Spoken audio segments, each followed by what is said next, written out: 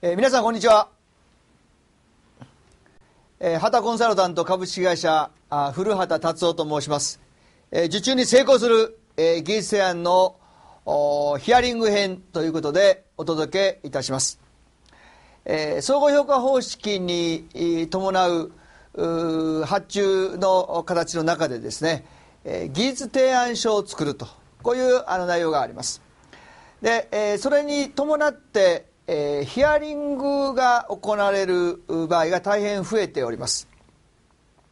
えー、技術提案書は会社みんなで、えー、持ち寄って知恵を出し合って、えー、いいものを作るということがあできるんですけれどもヒアリングはあその現場に配置する予定の方が1対1で対応しなければなりません、えー、誰の力も借りることができないわけですね。でえー、あのその点数が低いと結果として総合評価の点が低くなり、えー、受注できないということになります。非常にあの重要なヒアリングなんですが一方ですね多くの建設業で働く技術者の皆さんはどちらかというとそういうものが苦手なわけです、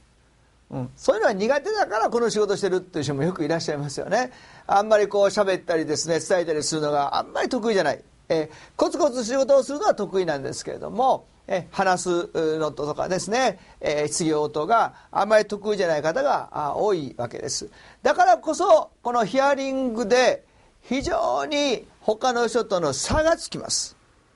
えですからやはりこの対策をしっかり行うことで逆に差をつけて、え受注に成功する。そのために今回 DVD としてノウハウを作成いたしました。ぜひですね学んでいただき高い評価を得ていただきますようにお願いしたいと思います。